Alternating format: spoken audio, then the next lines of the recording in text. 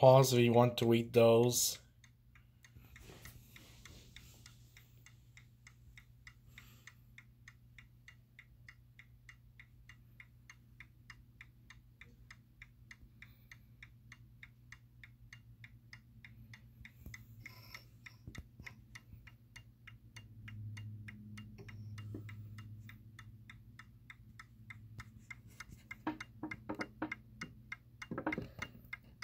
It's kind of unusual of how the Stickman turns. It turns clockwise.